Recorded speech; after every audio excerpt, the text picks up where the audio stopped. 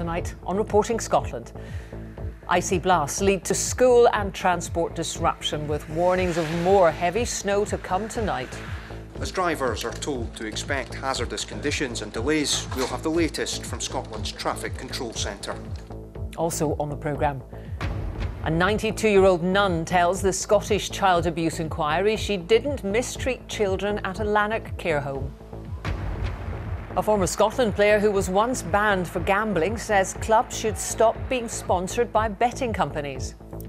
You know, they're scrutinising and killing off players, but then they're sitting with the billboards up with the sponsors for them. Take them, scrap the sponsor, go and find somebody else. And the autism friendly airport experience that aims to take the stress out of takeoff.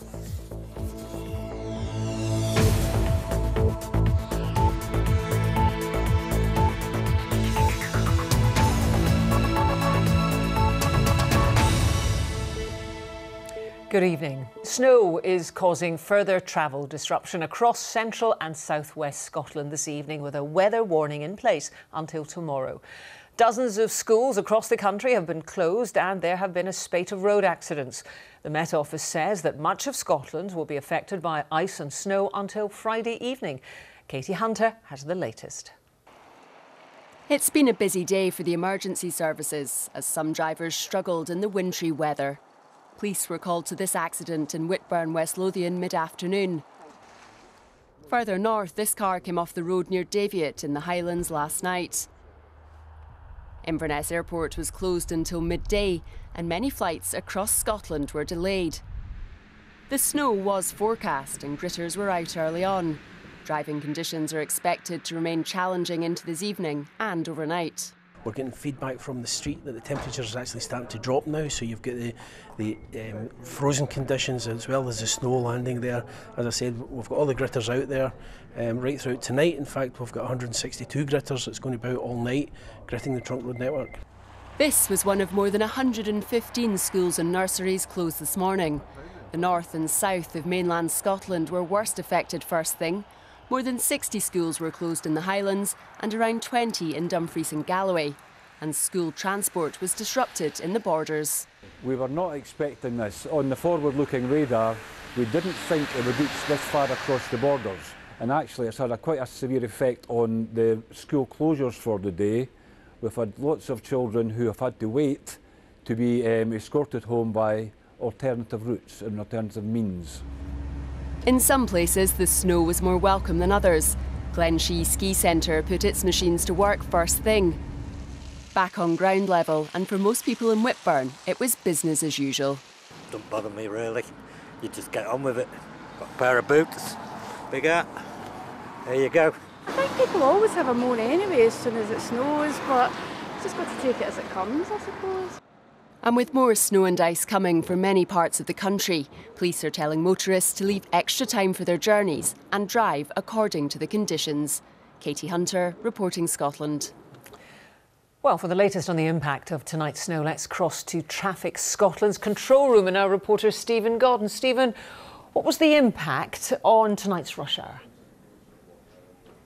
Well, Jackie, that's what the people in this room have been monitoring, and you get a good sense of it when you look up at this bank of screens on the wall behind me. Now, they have access to more than 400 CCTV cameras, and most of those that you can see on the screen there are focused on areas covered by that amber warning for snow and ice. What they can see is pretty much what they expected to see, hazardous driving conditions. A good example of that tonight has been on the M74, which has twice been partially closed to allow the gritters to come through after a sudden dump of snowfall. Now, those conditions have been replicated across large parts of the southwest and central Scotland. So while there have been no major incidents, life has been pretty difficult for motorists tonight.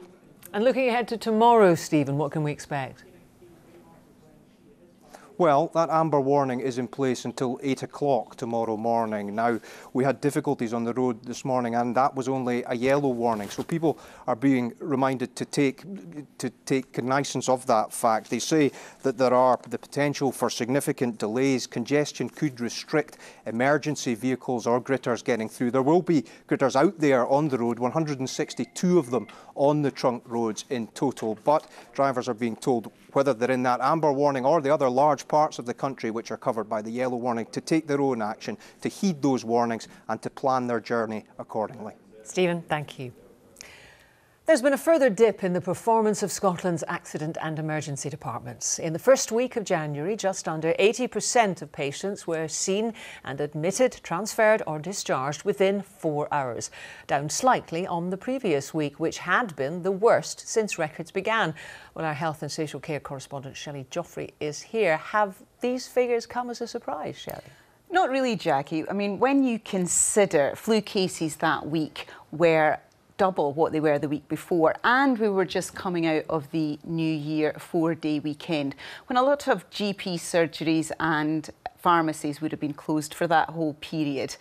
Those might otherwise have been the first port of call for many of the walking wounded who ended up in A&E. What is surprising, though, about these figures is the big increase in the number of people who actually faced a wait of 12 hours or more. 470 people across Scotland, up nearly 60% on the week before. Well, now that the festivities are over, can we expect things to get better? I don't think anyone would be bold enough to make that prediction quite yet. We're obviously at the start of um, some more bad weather, and we don't really know yet whether we've reached peak flu. We'll see more slips and accidents, obviously, with the bad weather. The government will be hoping that these figures are the end of a really tough period for the NHS in Scotland, where any departments are still outperforming the rest of the UK. Thank you very much, Shelley Jofre. A sixth complaint has been made against Police Scotland's Chief Constable Phil Gormley. Mr Gormley is currently on leave of absence while the allegations against him are investigated. He denies any wrongdoing. Tonight, the Police Investigations and Review Commissioner confirmed it had received a referral from the Scottish Police Authority regarding a further allegation of misconduct. BBC Scotland understands the complaint was made by a civilian member of staff. An 11 year old boy has been injured after rendering fell from a playground wall at a school in Aberdeen. The incident, which appears to have involved a mural attached to the wall, happened at St Joseph's Primary School in Queen's Road shortly before 9 this morning. The boy has been taken to Aberdeen Royal Infirmary with minor injuries. A man who murdered his 71 year old mother by dousing her in petrol and setting her alight has been jailed for life and told he'll serve at least 23 years. Former offshore worker William Kelly shouted die as Kathy Kelly was engulfed in flames. A jury heard the 42 year old's only concern after the blaze last February was the safety of his dog. A judge described his actions in the home they shared in Kilmarnock as horrific. A 92 year old nun has denied abusing children she cared for at Smyllum Home in Lanark up to 60 years ago. The sister, who can't be named, told the Scottish Child Abuse Inquiry she didn't beat children, force feed, or humiliate them. Our reporter Maura Kinneborough can tell us more.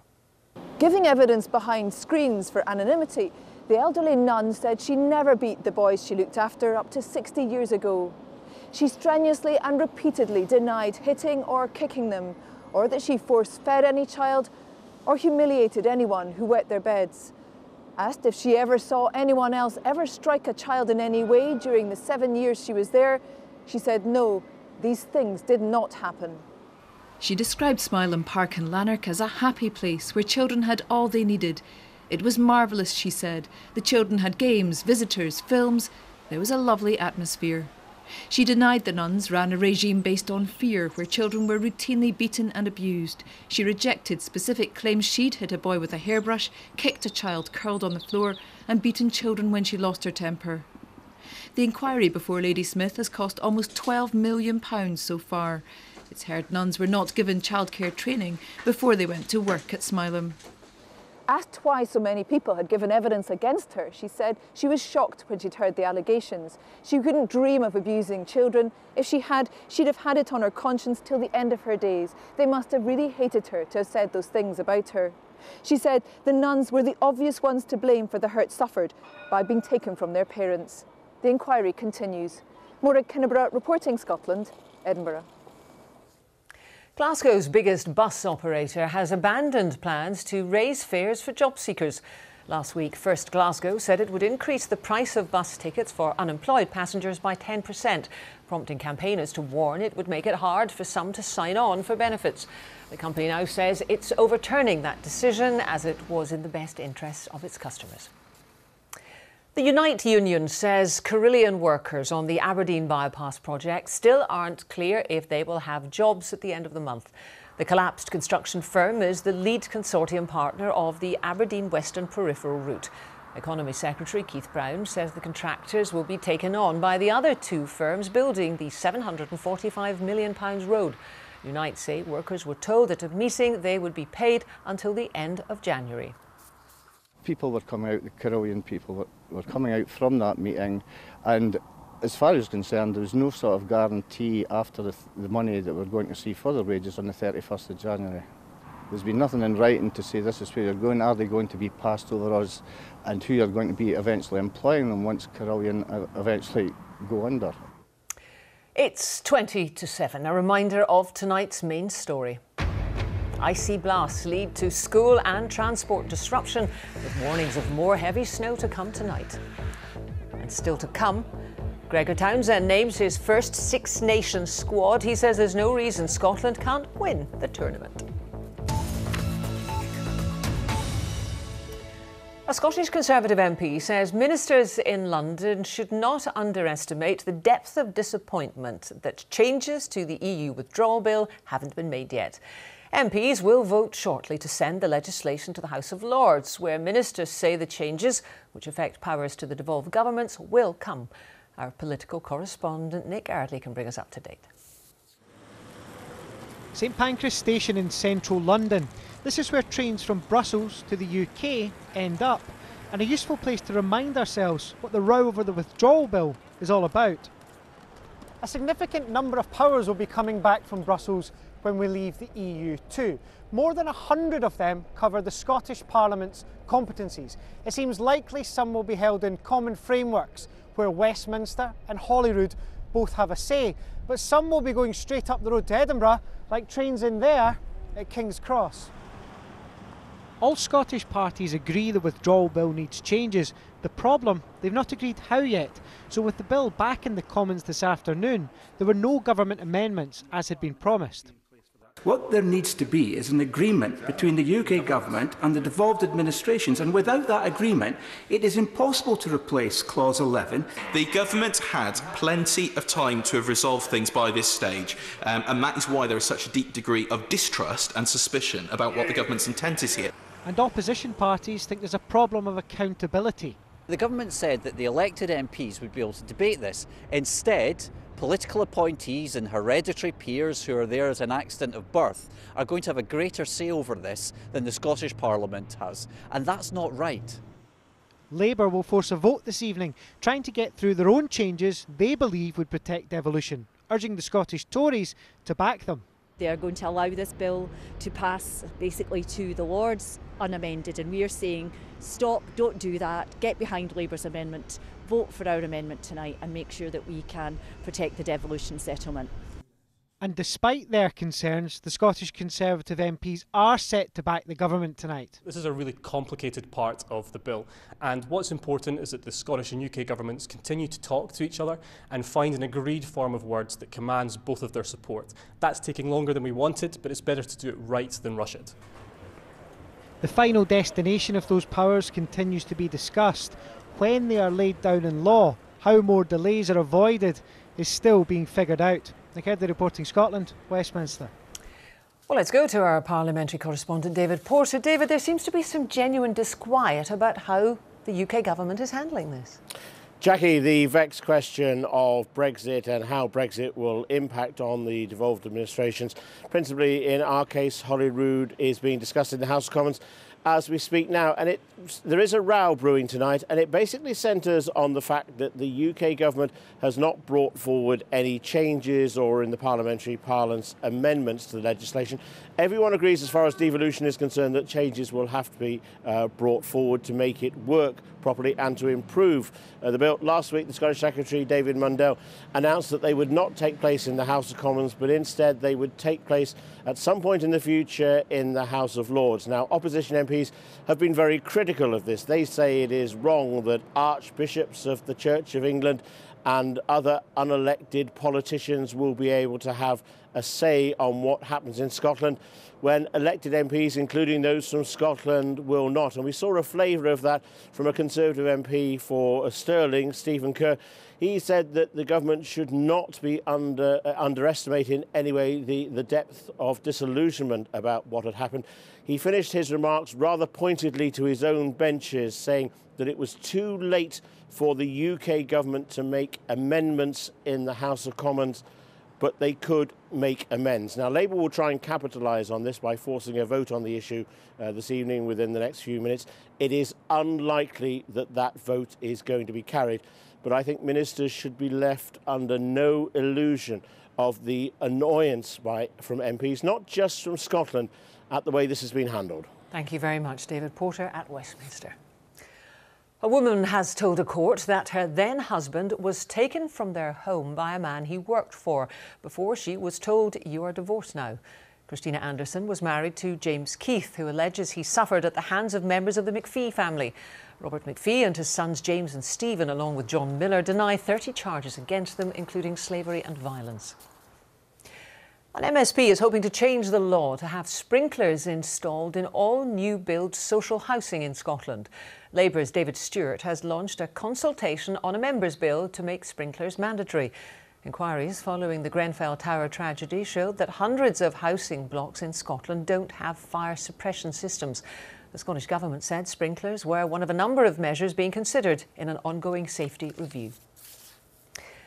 Police are growing increasingly concerned for the welfare of a Finnish tourist who's been missing for a week since visiting Edinburgh.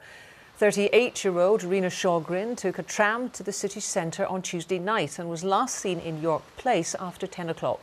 She's 5 foot 3 inches tall and was wearing dark trousers and a blue cardigan. We're concerned because it, what's happened here seems to be totally out of character for her. We speak uh, regularly to her, her family, and um, they're telling us that this is most definitely out of character. What we know is that earlier on that day at the airport last Tuesday, she bought a ticket to go to Amsterdam, but she didn't board that plane. A former Scotland footballer who was banned for breaching betting rules says the game must stop taking sponsorship from gambling companies. Ian Black's call comes as the Football League negotiates a new deal with Britain's biggest betting firm. He says gambling in the game is rife. David Curry reports. You may remember Ian Black as a player with Rangers, Hearts and Inverness, or as the first to be punished for breaking Scottish football's rules on gambling. In 2013, he was fined £7,500 and given a 10 game ban. I was made an example, for sure. Um, you know, I got hit hard. Nobody will ever be able to cut it out. Nobody whatsoever. Um, and it's bad. But football players get this money and they put it on the win money. They get it's, it's a buzz. It's a buzz for the Joe public, um, and it'll never stop. They can try it, and they're trying, um, but it'll never stop. People will get caught here, there, and everywhere. Although Black was the first to be punished for betting on football, it's not just players who've been caught. Last year, Annan chairman Henry McClelland was fined £3,000, and Aberdeen director Duncan Skinner was fined £1,000. The Scottish FA says it has clear rules in place prohibiting gambling, which apply to players, referees, and directors. In addition, we have delivered comprehensive gambling education workshops to all 42 SPFL clubs and academies.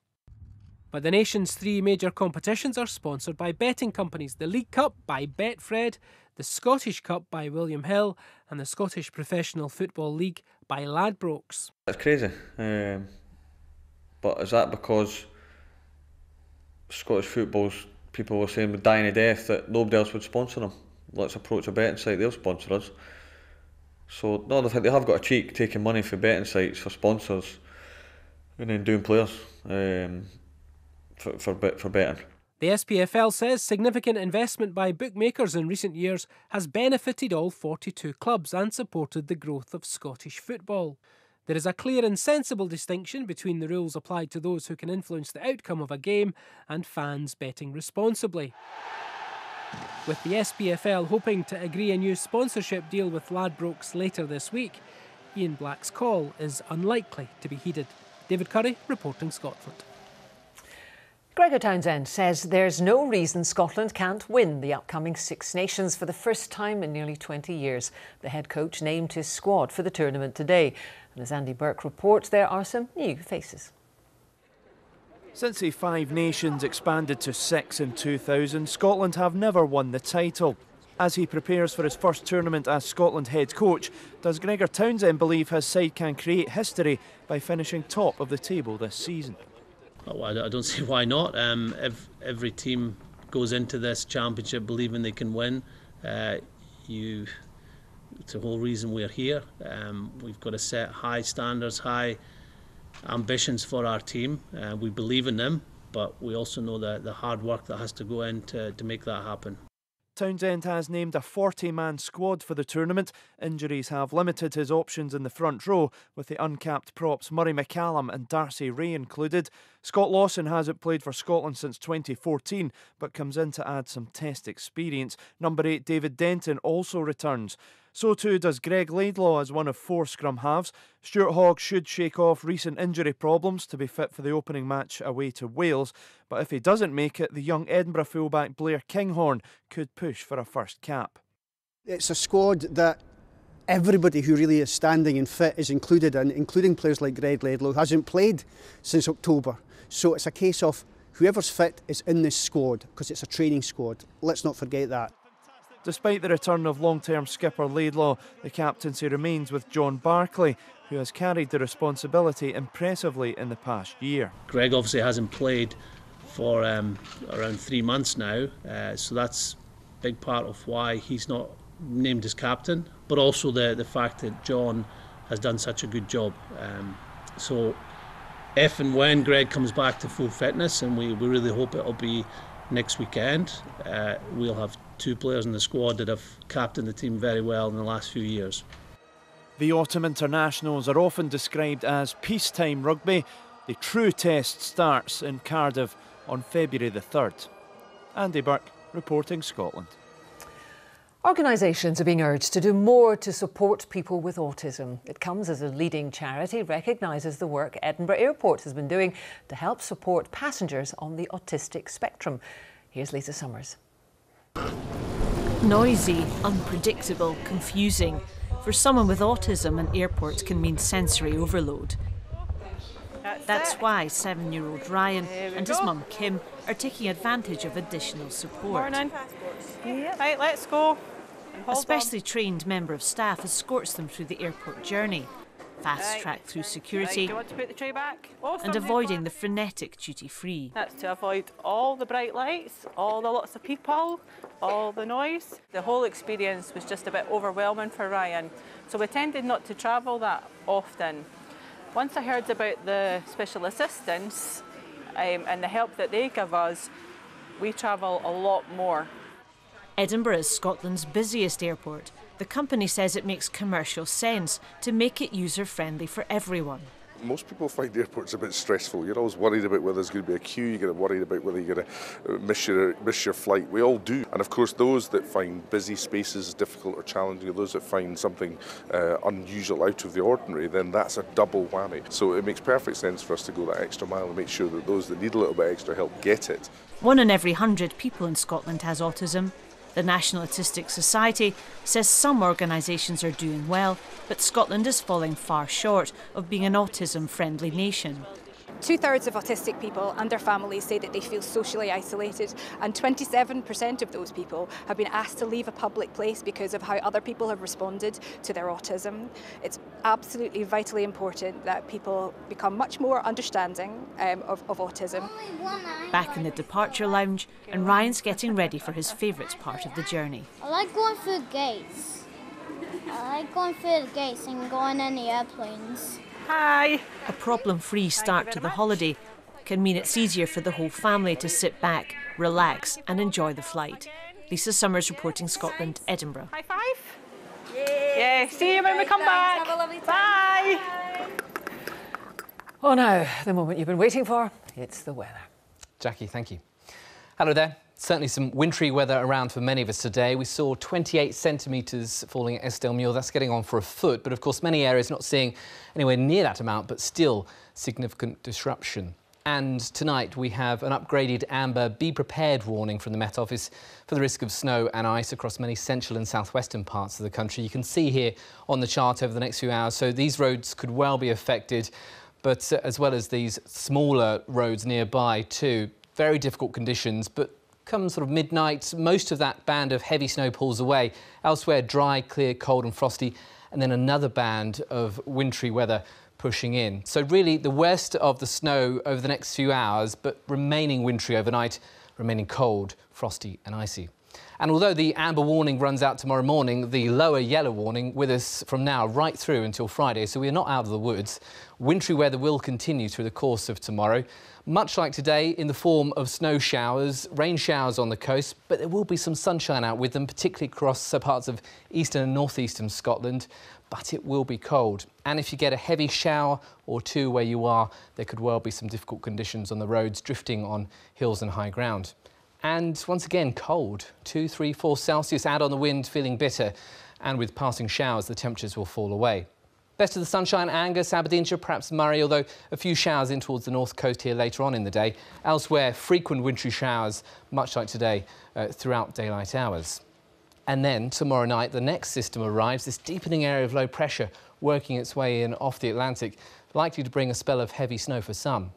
So to end the afternoon tomorrow, still a number of wintry showers around, and then that system starts to edge in off uh, the Atlantic through parts of Kintyre, Ayrshire, across the southern uplands, and that snow probably fringing in towards the central belt. But this time yesterday, we were expecting it a whole bit further north, so there is still some uncertainty on its exact track, but where that snow falls likely to cause some disruption.